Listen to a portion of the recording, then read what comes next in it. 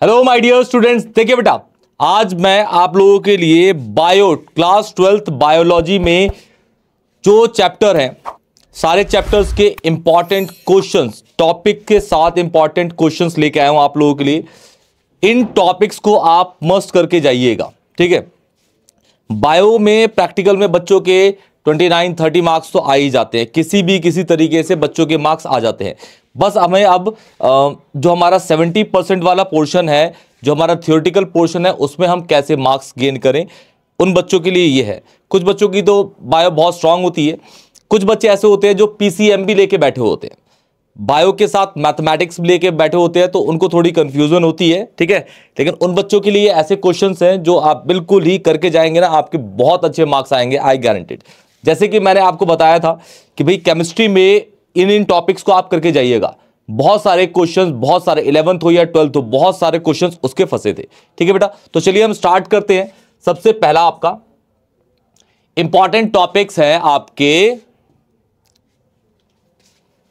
ध्यान देखिएगा बेटा, बिल्कुल ध्यान से।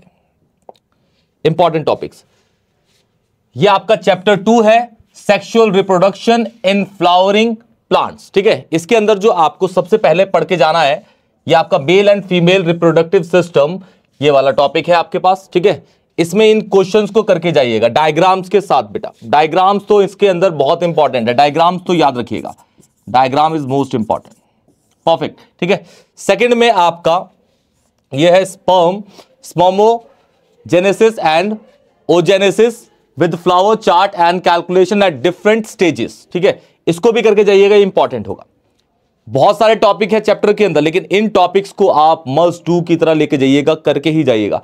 ये ऐसे टॉपिक्स हैं जो रिलेटिवली पीवाईक्यूज में आपको हमेशा दिखेंगे। इनके क्वेश्चंस जो हैं, वो हमेशा दिखते हैं। फिर है आपका structure of sperm and ovum ये इंपॉर्टेंट है। या स्ट्रक्चर तो आपको पता ही है बायो वाले बच्चों के लिए डायग्राम्स तो इंपॉर्टेंट है। और उसकी लेबलिंग बहुत प्रॉपर आपको करनी पड़ेगी। बहुत अच्छी लेबलिंग करनी पड़ेगी। फिर ये menstrual cycle phases and hormones involve ये है आपका इंपॉर्टेंट फोर्थ है ज़्यादा नहीं है, चार ही है टोटल बेटा इसके अंदर। फिर लास्ट है आपका, ये पोर्शन है।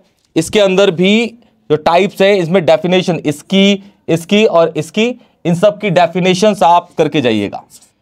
डेफिनेशन और मोस्ट प्रोबेबली चांस होते हैं कि भाई आपका जो केस स्टडी है ना, केस स्टडी के क्वेश्चन इसी चैप्टर से बनेगा। केस स्टडी का जो चैप्टर क्वेश्चन बनता है, वो इसी चैप्टर से बनेगा आपका। मोस्ट प्रोबेबल चांसेस इसी के होते हैं बेटा। क्लियर कोई भी डाउट होगा तो प्लीज़ मुझे कमेंट सेक्शन में ज़रूर बताइएगा। वीडियो अगर अच्छी लगे, दोस्तों को शेयर करिएगा चैनल को सब्सक्राइब करिएगा। तब तक के लिए टेक केयर और बेटा, इसके बाद ना मैं सारे चैप्टर्स के ऐसे ही इंपॉर्टेंट टॉपिक्स की क्वेश्चंस डाल दूँगा और ऐसे क्वेश्चंस भी डाल दूँगा जो हमेशा आते रहते हैं। तो आप चैनल पे बने रहिएगा। चैनल पे आपको सारी बायो की चीज़ें मिलती रहेंगी। क्लियर बेटा? तब तक के लिए टेक केयर